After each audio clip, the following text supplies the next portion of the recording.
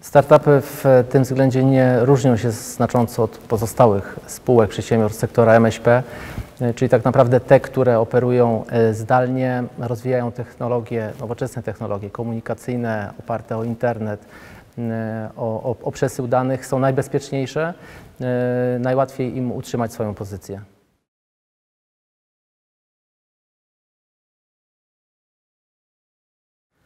Takiej recepty mm, jednej oczywiście nie ma. To, o czym powinny myśleć startupy, to przede wszystkim e, klient. E, jego trzeba ustawić w centrum i rozwijać rozwiązanie, aż, e, że tak powiem, satysfakcja klienta będzie osiągalna. Bardzo często ten produkt nie musi się podobać startupowi, jego założycielom. Przede wszystkim musi znaleźć swojego odbiorcę i trzeba robić wszystko, aby on był sprzedawalny, czyli żeby zbudować segment rynku pod kątem tego, tego produktu.